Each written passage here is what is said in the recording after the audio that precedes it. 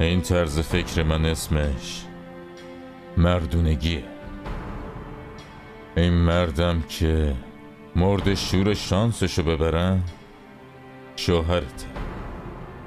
شوهرت. داره بهت میگه اگه به این رفتارت ادامه بدی سر تو می‌بره. فهمیدی؟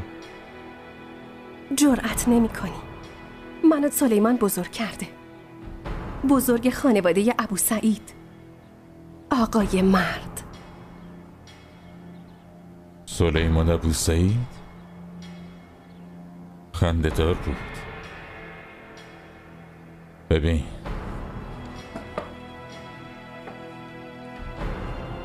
به خدا داری حوصلم و سر می‌بری. بهتره مراقب رفتارت باشی ها؟